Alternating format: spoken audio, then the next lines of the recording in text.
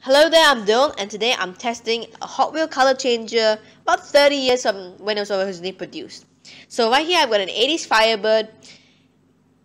Now when I first bought the vehicle, I thought it was a fake because it was so light, but doing more research into this particular vehicle, in fact the series, I found out that this series is been known to be light because of its plastic base.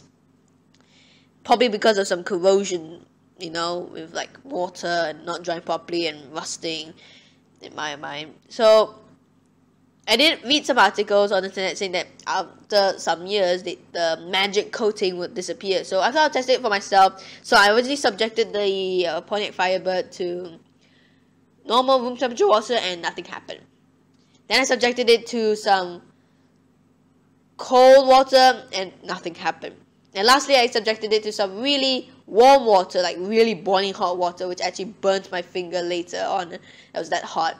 Um, and again, nothing happened. So, whether this could be a fake or not is arguable. But for a fact, I know that this thing might have lost its magic touch. Anyway, I'm done, and I hope you guys enjoyed this little quick video where I showcase me testing a color changer 30 years on